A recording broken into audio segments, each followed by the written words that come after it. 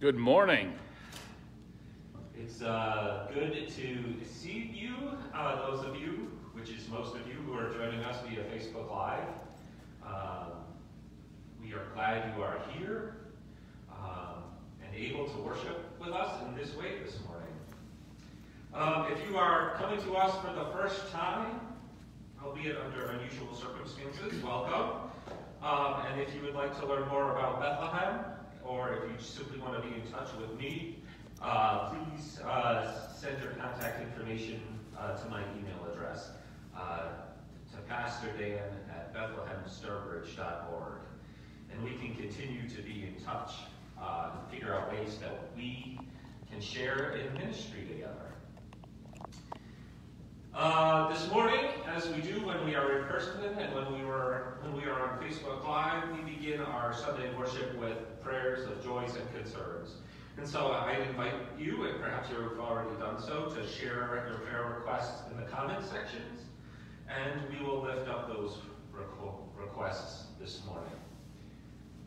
Uh, so prayers of rejoicing to all mothers, and uh, and a happy birthday to Peyton prayers of rejoicing for mothers on this Mother's Day uh, and for Peyton for her birthday.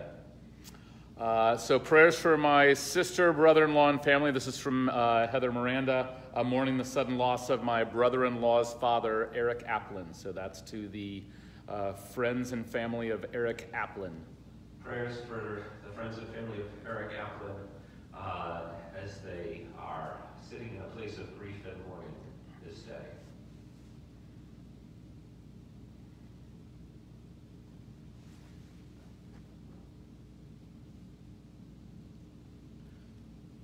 That's what we have for now. So right. if there's others that come in during the course of the service, we'll relay those to Thad and we'll include those in the prayers. Wonderful. Any prayers here from Boyd, Thad, or only continued prayers for all of those frontline workers. I'm, of all things, just thinking about my barber this morning. So, uh, and uh, those are the sort of frontline workers as we start to reopen things that we need to be very concerned about. Yeah, for sure. Prayers for those who are still in harm's way for the sake of others who are literally putting their lives on the line um, in an effort to stem the tide of COVID uh, and we do have one, uh, one more here uh, for, uh, from your father, our friend, uh, for a friend Gordon Alstrom, who is in the hospital. Yeah, we'll uh, lift up Gordon Alstrom. And, and Sarah's mom, who is battling lung cancer in the hospital. Mm, and for Sarah's mom, fighting cancer, and all, for all who find themselves fighting disease and illness in this time.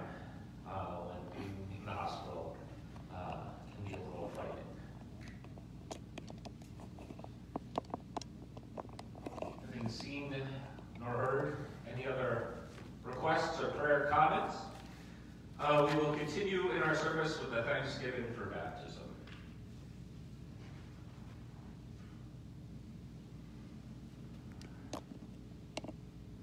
Alleluia, Christ is risen.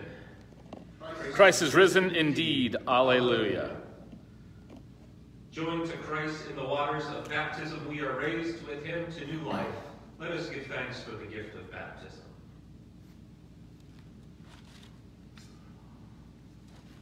We give you thanks, O God, for in the beginning you created us in your image and planted us in a well-watered garden.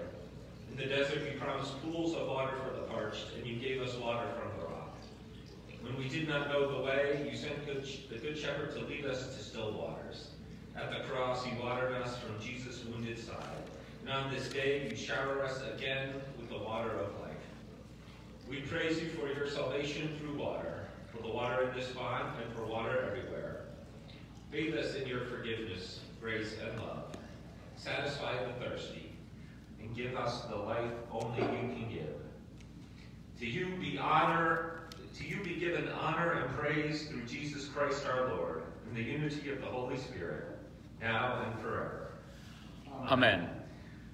The service continues with our gathering song found in your worship materials, which can be found on our Facebook page or in your email. I know that my Redeemer lives.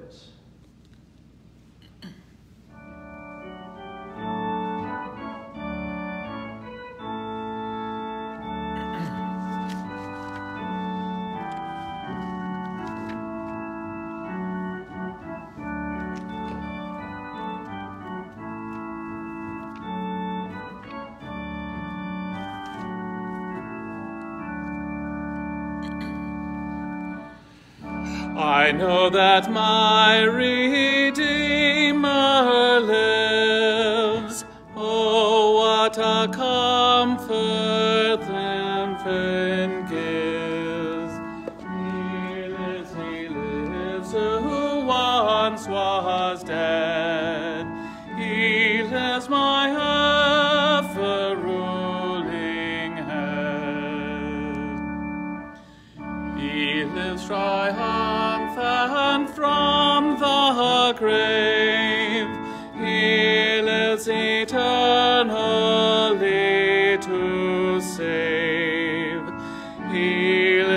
exalted, throned above.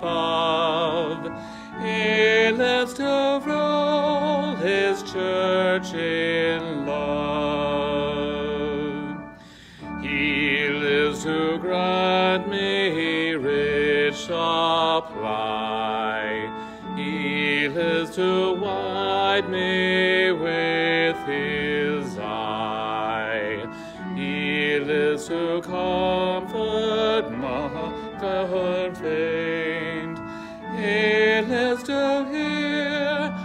soul's complaint. He lives to silence all my fears. He lives to wipe away my tears. He lives to calm my troubled heart. He lives to blessings to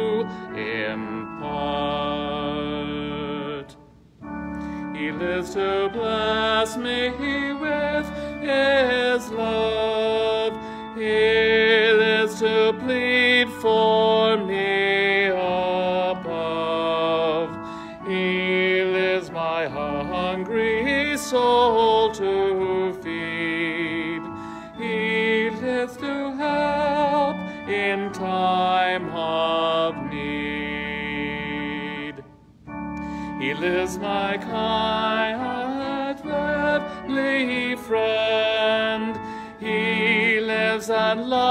loves me to the end. He lives and while he lives I'll sing. He lives my prophet, priest, and king. He lives and grants me daily breath. Lives and I shall conquer death. He lives my mansion to prepare. He brings me, take me safely there. He lifts all glory to his name. He lives my Savior still the same. What joy this blessed assurance gives. I know that my Redeemer lives. The grace of our Lord Jesus Christ, the love of God, and the communion of the Holy Spirit be with you all. And also with you.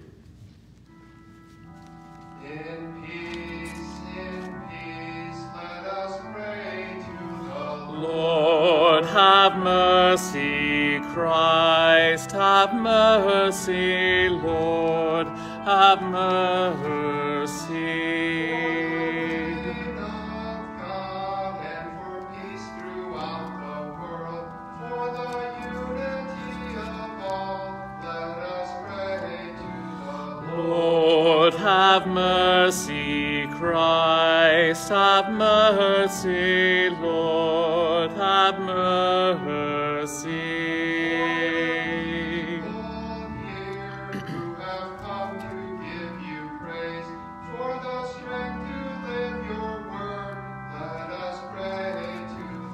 Lord, have mercy, Christ, have mercy, Lord, have mercy.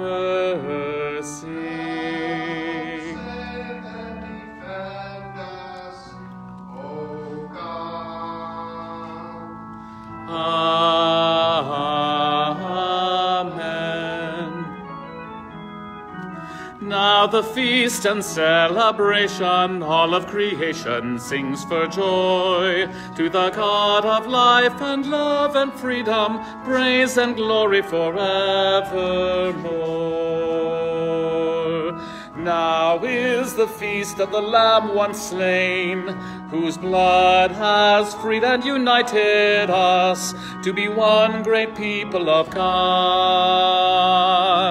Now the feast and celebration, all of creation sings for joy. To the God of life and love and freedom, praise and glory forevermore.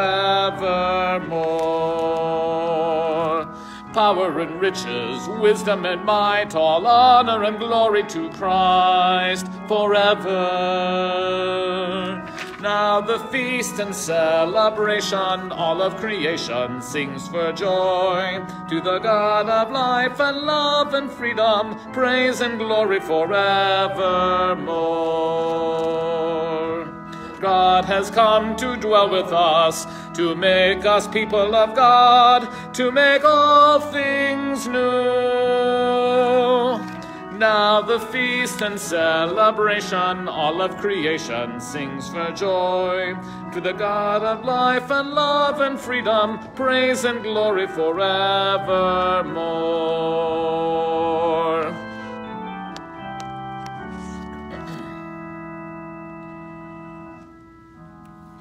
The Lord be with you. And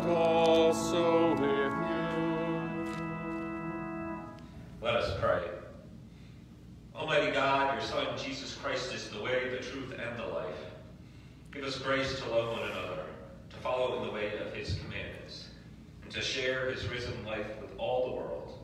For he lives and reigns with you and the Holy Spirit, one God, now and forever. Amen. We continue with our readings. The first reading this morning is from the Acts, the seventh chapter. Filled with the Holy Spirit, Stephen gazed into heaven and saw the glory of God, Jesus standing at the right hand of God. Look, he said, I see the heavens open and the Son of Man standing at the right hand of God. But they covered their ears and with a loud shout all rushed together against him. Then they dragged him out of the city and began to stone him. And the witnesses laid their coats at the feet of the young man named Saul. While they were stoning Stephen, he prayed, Lord Jesus, receive my spirit. Then he knelt down and cried out in a loud voice, Lord, do not hold this sin against them. When he had said this, he died. Word of God, word of life. Thanks be to God. The second reading this morning is from the first chapter of Peter. Like newborn infants, long for the pure spiritual milk, so that by it you may grow into salvation, if indeed you have tasted that the Lord is good. Come to him, a living stone, though rejected by mortals, yet chosen and precious in God's sight. And like living stones, let yourselves be built into a spiritual house, to be a holy priesthood, to offer spiritual sacrifices acceptable to God through Jesus Christ. For it stands in Scripture See, I am laying in Zion a stone, cornerstone chosen and precious, and whoever believes in him will not be put to shame. To you then who believe, he is precious. But for those who do not believe, the stone that the builders rejected has become the very head of the corner, and a stone that makes them stumble and a rock that makes them fall. They stumble because they disobey the word, as they were destined to do. But you are a chosen race, a royal priesthood, a holy nation, God's own people, in order that you may proclaim the mighty acts of him who called you out of darkness into his marvelous light. Once you were not a people, but now you are God's people. Once you had not received mercy, but now you have received mercy. Word of God, word of life. Thanks be to God.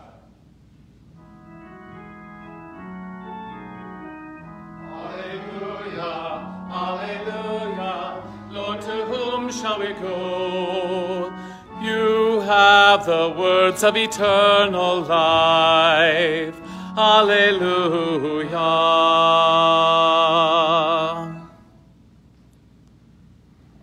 This is the Holy Gospel according to St. John, the 14th chapter. Glory to you, O Lord. Jesus said to the disciples, Do not let your hearts be troubled. Believe in God and believe also in me. In my Father's house there are many dwelling places. If it were not so, would I have told you that I go to prepare a place for you? And if I go to prepare a place for you, I will come again and will take you to myself, so that where I am, there you may be also. And you know that the way to the place where I'm going. Thomas said to him, Lord, we do not know where you are going. How can we know the way?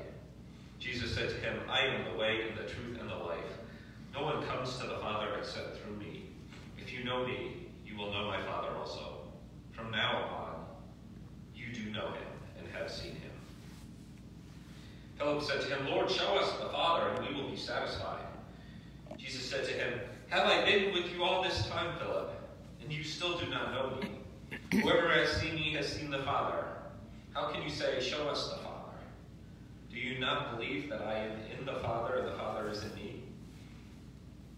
The words that I say to you, I do not speak on my own, but the Father who dwells in me does his works. Believe me that I am in the Father and the Father is in me. But if you do not, then believe me because of the works themselves. Very truly, I tell you, the one who believes in me will also do the works that I do, and in fact, will do greater works than these, because I am going to the Father. I will do whatever you ask of me in my name, so that the Father may be glorified in the Son. In my name you ask me for anything, I will do it. This is the gospel of the Lord. Praise to you, O Christ.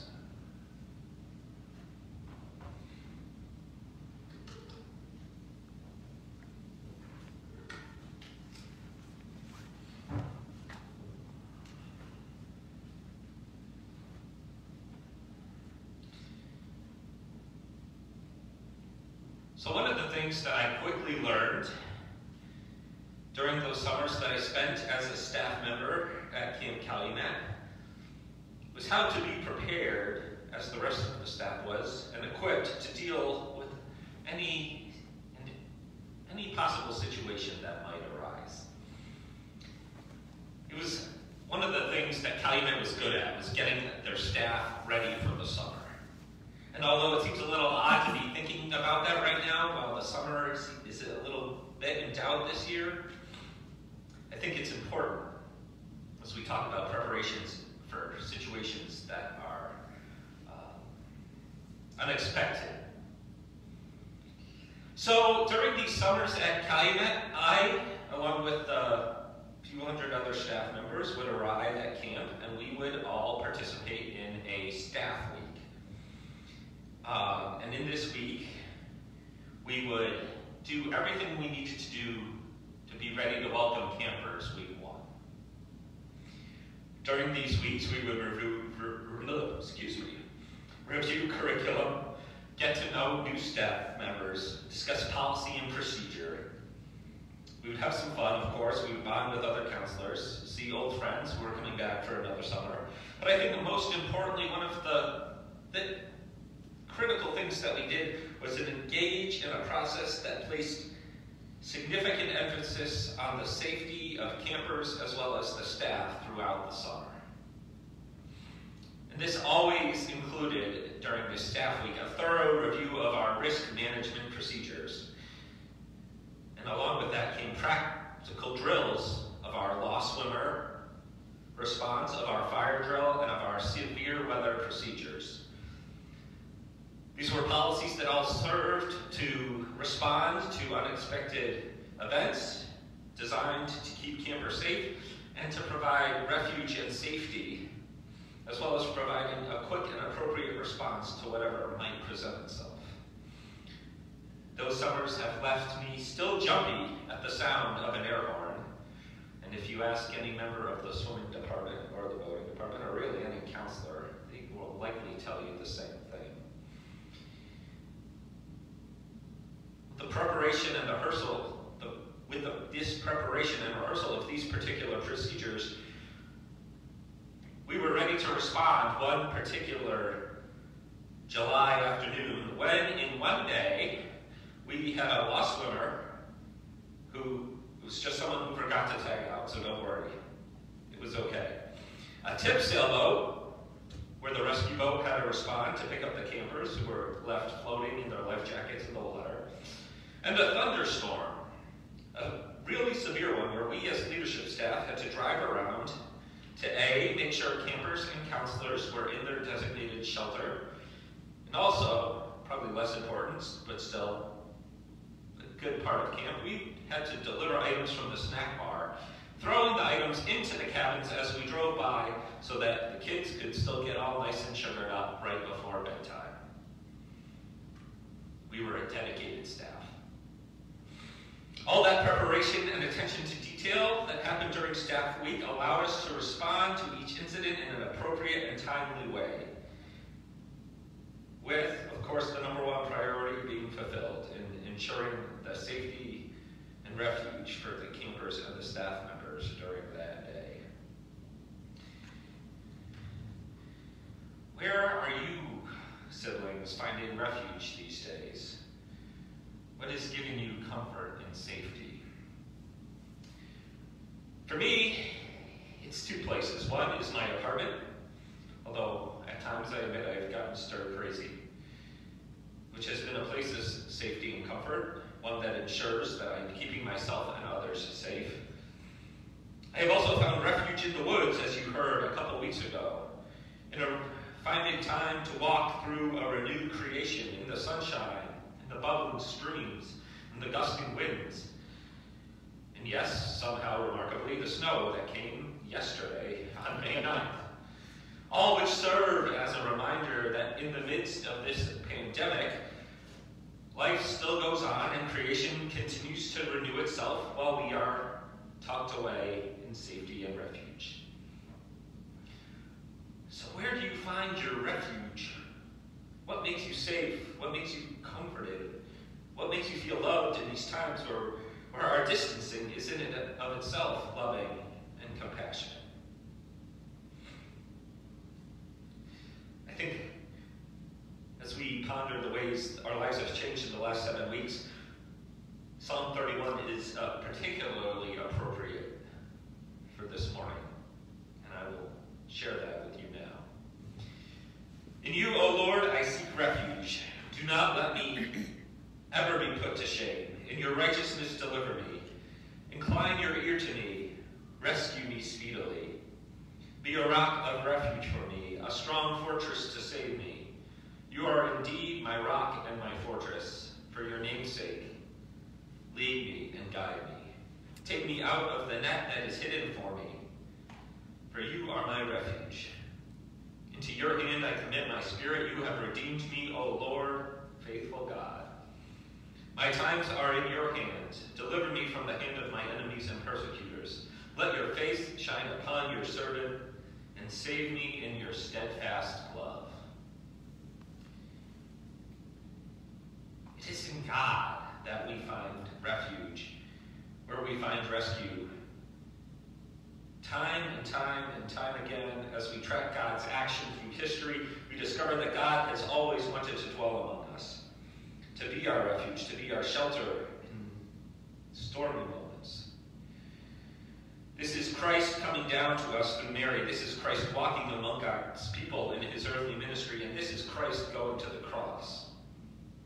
This is a God who seeks us out, who loves us and cares for us and claims us as children of God through the waters of baptism. This is where our refuge lies. This is who we put our trust in. This is who is always faithful, and this is who always shows up, whether we recognize it or not. In the beginning of our gospel lesson from John today, which brings us back to the beginning of Holy Week, addressing his disciples in this way Do not let your hearts be troubled. Believe in God, believe also in me. In my Father's house there are many dwelling places. If it were not so, would I have told you that? I go to a place to I go to prepare a place for you. And if I go and prepare a place for you, I will come again and will take you to myself, so that where I am, there you may also be. And you know the way to the place where I am going. Words of comfort, even in this time of uncertainty and imminent death, as Christ prepares for what is to come. Do not let your hearts be troubled. You know the way to the place I am going. I will prepare a place for you, and where I am, you will also be. Jesus knows what's about to happen, and still, he goes forward, preparing the way for us. And it is in Christ's death and resurrection that we are reminded that we receive the ultimate refuge, the ultimate place of safety, the ultimate love.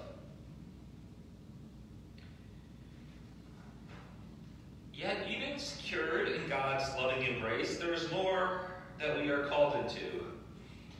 More than just being safe.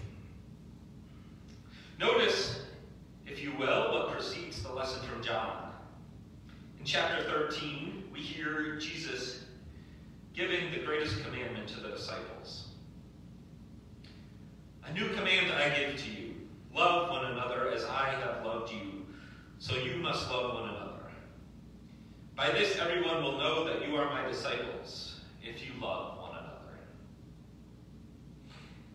Our refuge and safety that comes to us through the resurrection also brings with it responsibility.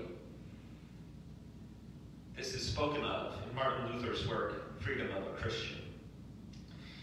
A Christian who is, is an utterly free person, Lord of all, subject to none. A Christian is an utterly dutiful person, servant of all, subject to all. It is through the greatest command that God has called us into a community of love. It is through the freedom and refuge we have in Christ that we become subject to one another, called to serve and love our neighbors as Christ has loved us. With Christ as our refuge, a God who dwells among us, we are called in such times to step out into vulnerability, to provide refuge to those who have none, including answering our mission to feed the hungry, clothe the naked, and shelter those who are lacking. It's also a time, it's also at times, calls us to stand up against systems that allow for inequality and oppression to bear fruit. It also at times mean, means calling out racism and white fragility and white supremacy that was on full display when Ahmaud Arbery was, while simply jogging through the streets of a Georgia neighborhood, shot and killed.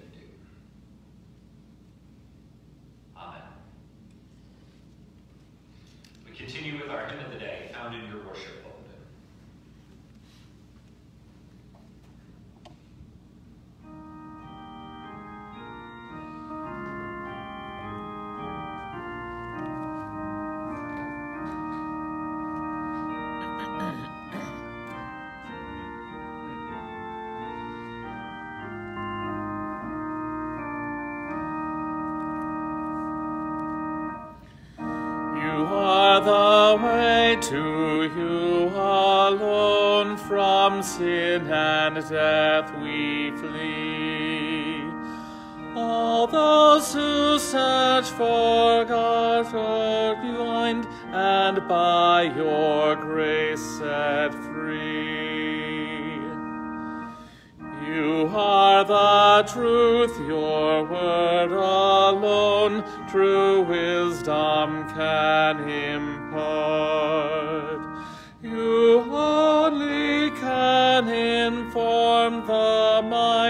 And purify the heart. You are the light, the rending tomb proclaims your conquering arm. And those who put their trust in you, not death nor hell shall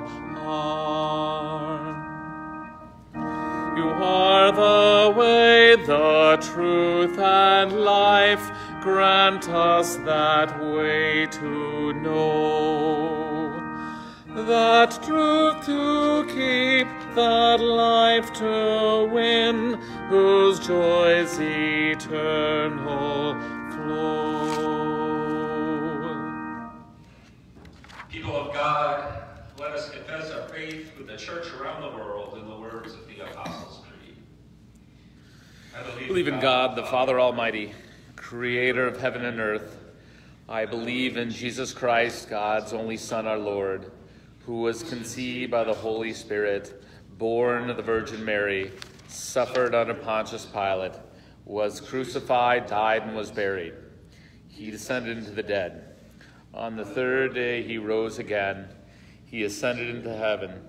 He is seated at the right hand of the Father, and he will come to judge the living and the dead.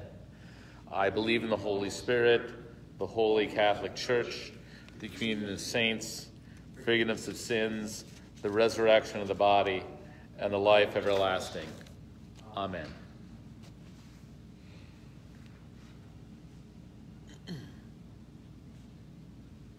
Lord, uplifted by the promised hope of healing and resurrection, we join the people of God in all times and places in praying for the church, the world, and all who are in need.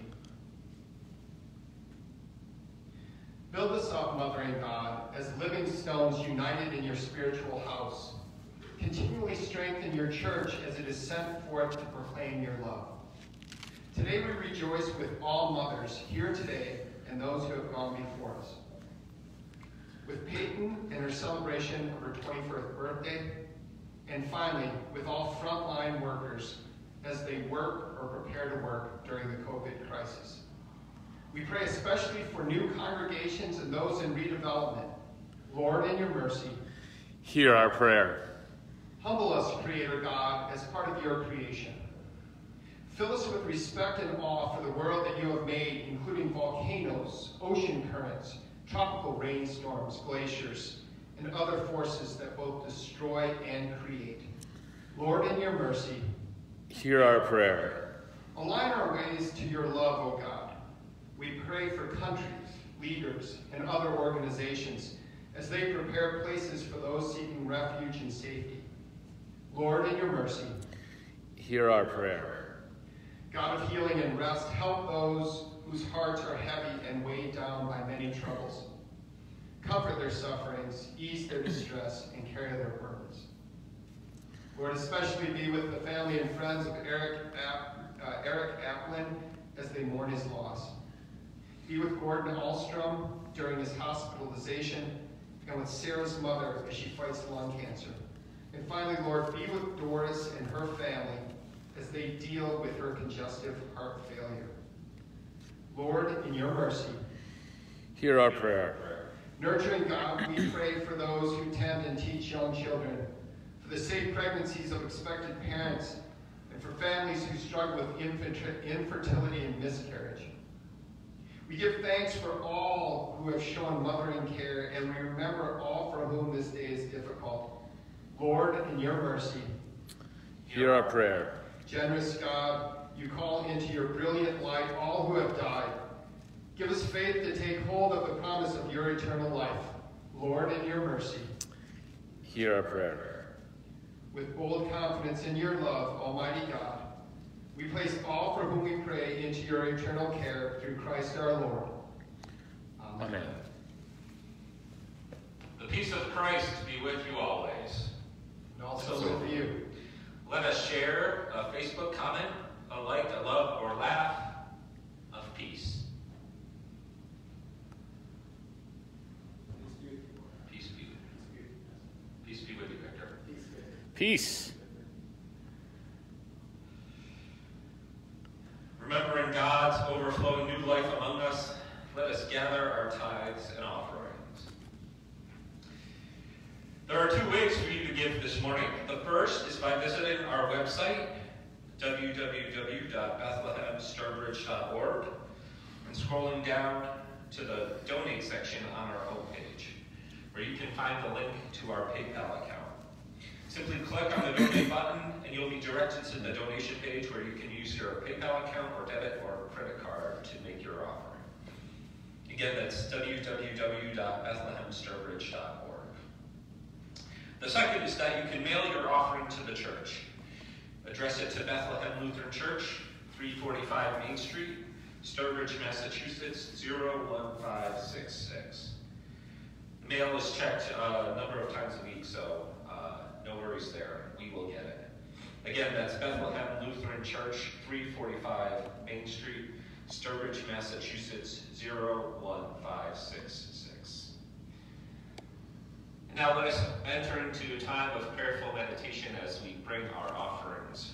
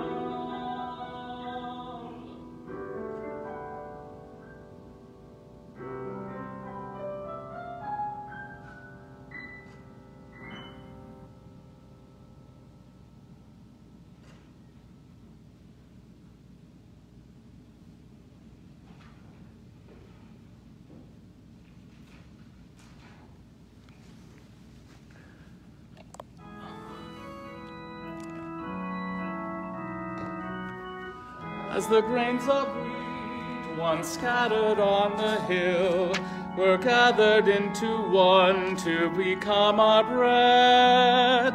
So may all your people from all the ends of earth be gathered into one in you. As this cup of blessing, one shared within our midst, may we share the presence of your love.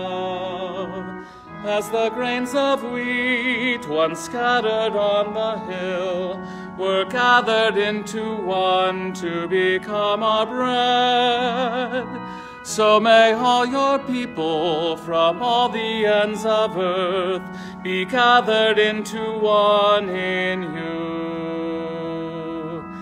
Let this be a foretaste of all that is to come when all creation shares this feast with you. As the grains of wheat once scattered on the hill were gathered into one to become our bread, so may all your people from all the ends of earth gathered into one in you. Let us pray. Merciful God, our ordinary gifts seem small for such a celebration, but you make of them an abundance, just as you do with our lives. Feed us again at this table for service in your name, in the strength of the risen Christ. Amen. Lord, remember us in your kingdom and teach us to pray. Our Father in heaven, hallowed be your name. Your kingdom come, your will be done, on earth as in heaven. Give us today our daily bread. Forgive us our sins, we forgive those who sin against us. Save us from the time of trial, and deliver us from evil. For the kingdom, the power, and the glory are yours, now and forever. Amen.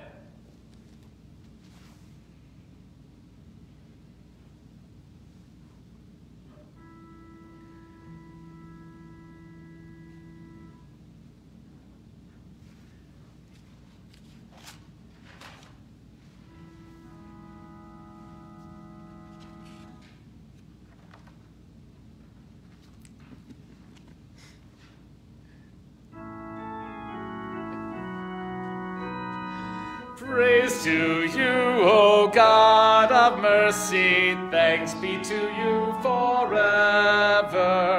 Raising high the weak and lowly. Thanks be to you forever. From of old you loved and sought us. Thanks be to you forever.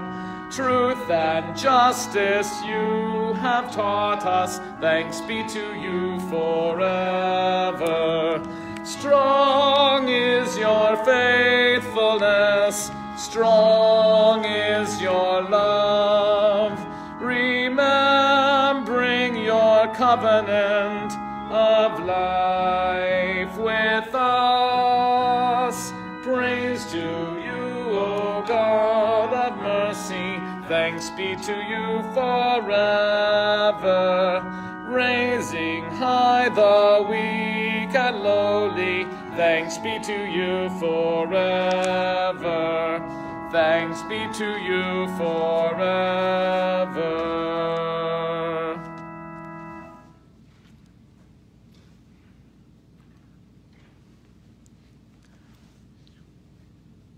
May God bless us and keep us. May God's face shine on us and be gracious to us. May God look on us with favor and give us peace.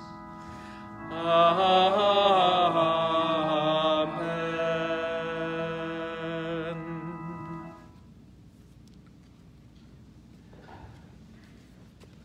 We have a few announcements this morning. Um, just a reminder that after this service, we will meet uh, over Zoom for our virtual coffee hour.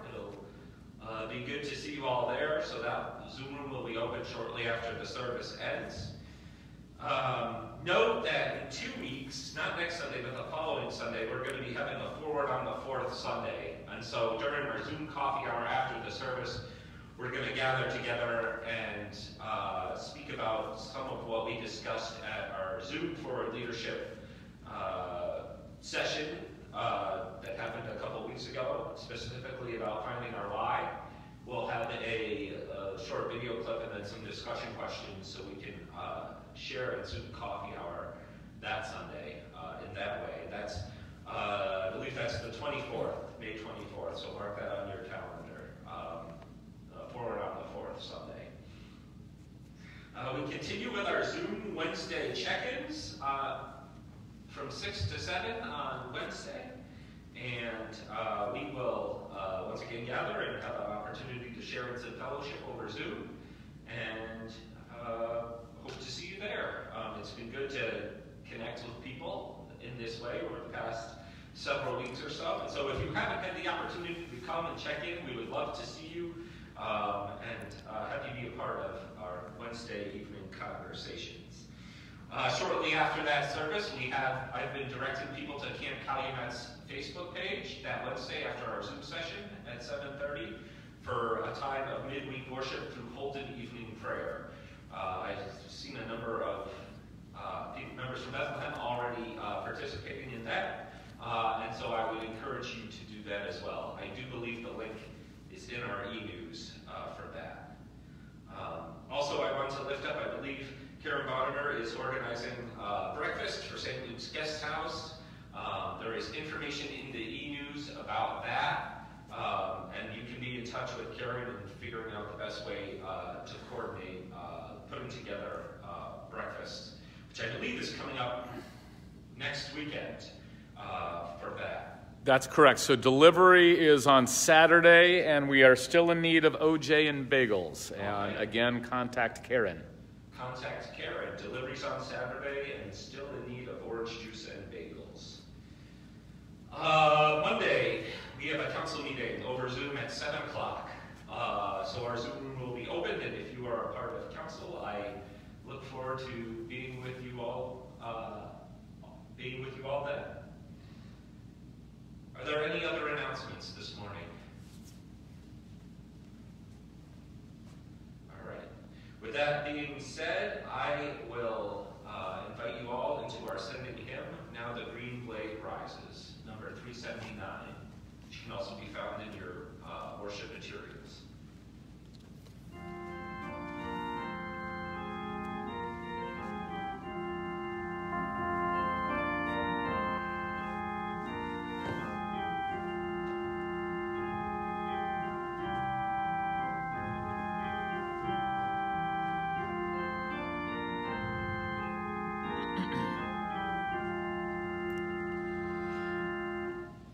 Now the green blade rises from the buried grain, wheat that in the dark earth many days has lain. Love lives again, that with the dead has been. Love is come again, like wheat arising green. In the grave they laid him, loved by hated slain, thinking that he would be awake again. Laid in the earth, like grain that sleeps unseen. Love is come again, like wheat arising green. Forth he came at Easter like the risen grain. He that, that for three days in the grave had lain. Raised from the dead, my living Lord is seen. Love is come again like wheat arising green. When our hearts are wintry, grieving or in pain, your touch can call us back to life again. Fields of our hearts that dead and bare have been, Love is come again like wheat arising green. Go in. Set your hope on Christ. Thanks be to God.